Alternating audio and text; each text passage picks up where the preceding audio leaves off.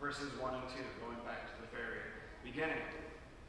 It says, In the very in the beginning, God created the heavens and the earth. The earth was without form and void, and darkness was on the face of the deep. And the Spirit of God was hovering over the face of the waters. Now I have to only imagine that you all know this verse.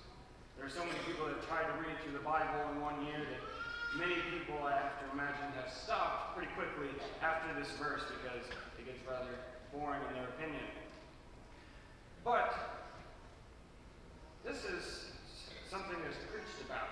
This verse has to have been mentioned at least once in the pulpit that you have heard, and it has to possibly do with the power of God to create everything that we know. In this chapter of Genesis, it says, uh, we read the phrase, then God said, and we read this seven times, demonstrating God's power and how great He is. Now, I bring this up because when it comes to sin, it literally takes an act of God to remove it. You see, I have gone to public school. Not necessarily proud of that, not necessarily ashamed of it, but I have gone to public school and I have heard all the evolutional doctrine that I can hear at this point. That was never the problem. The doctrinal issue was never a problem for me. Rather, I saw this as an example of God's power, that He could do things in a second that would have taken billions of years, according to man. My point is, as I said, God is all powerful. He created everything that we know, but yet it took the Godhead splitting up. It took Jesus coming to earth, but not only that, it took God being there for him and for us. And it took the Holy Spirit inspiring the apostles to write the Gospels. And John 16, 12 through 14, we read, I still have many things to say to you, but you cannot bear them now.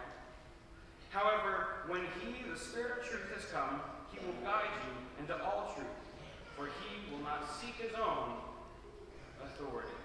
Excuse me. But whatever he hears, he will speak, and he will tell you things to come. Jesus is here referring to the Holy Spirit.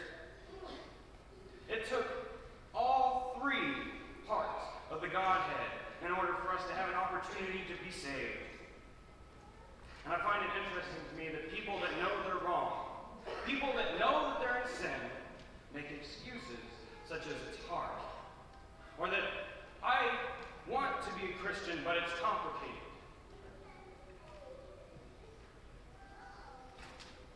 Jesus, carrying all of our sins and carrying the cross that would later kill him, walked a very long distance to the place where he would die. I have to imagine that that was very hard. And it's definitely harder than what you have to do. And it's not that complicated because the Godhead, God, did what he, what he needed to for us to be saved. And if we all can be saved, then it's not that complicated. He did the hard part for us. He did the complicated part for us. We don't have to think. Rather, we have to obey. Jesus paid for you with his blood. And my final point here, I want to think on this for just a second. He paid for you with his blood. And to deny him what he has paid for is cheating. To deny him what he has paid for in full and ahead. To make excuses such as it's complicated or it's too hard is not going to be acceptable. Finally, I want to say this Jesus bore your sins and mine. And in all reality, without that, we would have no chance. Because of him, we need to accept it. Whether it's complicated or hard, it should not be up to us, but rather it's because He did what He did for us that we can be saved. Make things right